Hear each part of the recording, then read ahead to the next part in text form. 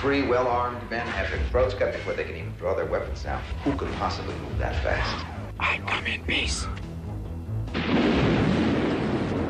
It's like turning your radio dial to K-I-L-L. I come in peace. Dolph Lundgren. And you go in pieces. I come in peace. Rated R. Starts Friday, September 28th at a theater near you.